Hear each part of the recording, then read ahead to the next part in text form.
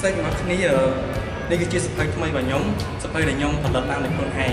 អឺមានចំណងជើងថានារីសក្តិនិងស្ត្រីដទៃទៀតវាបានចេញផ្សាយនៅតាំងពីពិព័រណ៍សភៅឆ្នាំ2018ប៉ុន្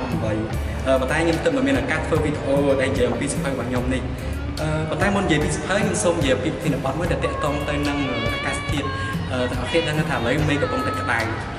ជាទស្សនៈរបស់ខ្ញុំជាយើងគិតពីទង្វើឬក៏សកម្មភាពដែលយើងធ្វើឡើងវិញជារៀងរាល់ថ្ងៃហ្នឹងតែយើងបានជួយអ្វីដល់បរិស្ថានឬក៏កូនក៏សកម្មភាពយើងវាបំពេវាបានធ្វើអីឲ្យកម្ដៅនៃផែនដីកើនឡើងរាល់ថ្ងៃហ្នឹងអញ្ចឹងជាគណិតទៀតបើសិនជាទាំងអស់គ្នាចង់ដឹងពីរឿងតាក់ទងទៅនឹងខ្ញុំគិតថាខ្ញុំមាន human synthetic មួយដែលតាក់ទងទៅនឹង plastic sing plastic ដែលអ្នកទាំងអស់គ្នាឃើញនៅទី video ហ្នឹង គេឥឡូវនិយាយចប់រឿងនេះចូលដល់សកម្មរបស់ខ្ញុំសកម្មរបស់ខ្ញុំ structure រចនាសម្ព័ន្ធរបស់វាគឺមាន3នាក់មានខ្ញុំស្វាយឌីមេង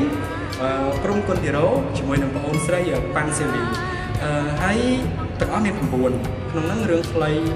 អឺ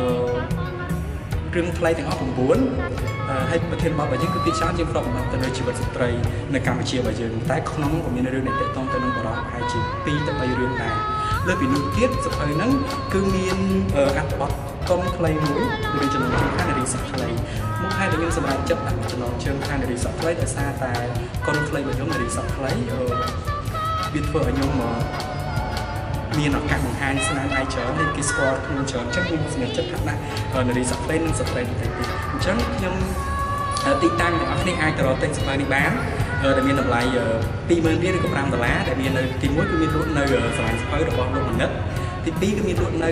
ម៉ាយបុកសបដែលនៅក្បែរវត្តប្រយោគវងហើយទី3មានលក់នៅបណ្ណាគាររកធំផ្លូវកម្ពុជាក្រោមទី4មានលក់នៅតូបបងអូនពីជេណាណាផ្សារសូយ៉ាចុងទី4អឺហើយទី5ទី5គឺថាបងប្អូនគ្នាអាចអាចទិញតាមអនឡាញឬក៏អាចទិញតាម page របស់ខ្ញុំក៏បានដែរហើយនឹងខ្ញុំមានតែប៉ុណ្្នឹងហើយហើយសង្ឃឹមថា អឺហ្នឹងបើបន្តបានទិញអានទិញអានទៅហើយបើបានទិញអានហើយក៏ស្រងចាំសភៅទី2របស់ខ្ញុំជាមួយនឹងមិត្តភក្តិរបស់ខ្ញុំបន្តទៀតអរគុណបាយបាយ